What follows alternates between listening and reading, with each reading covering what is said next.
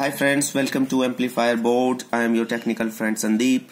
So I have ordered this one and this is TPA3116 class D amplifier board. I have ordered this uh, from amazon.com so let's do a review of the board. So the first is let's talk about the build quality of the board. The build quality as you can see is very nice. Each and every connection is very well situated here so let's talk about the power supply now. So it will work on 12 volt to 24 volt DC power supply. So it has three ports for output. These ones these three uh, output jacks. So first one is for 100 watts. This is for subwoofer. Second and third is 50 plus 50 that is for speakers so we have two ports for DC power supply.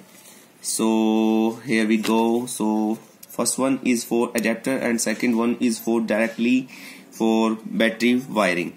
So let's talk about now the 3.5 mm aux jack here as you can see in the pink color. And this one is for the module input.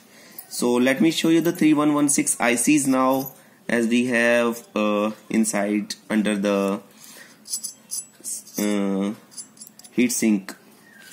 So let me open this. Uh, we have screwdriver here.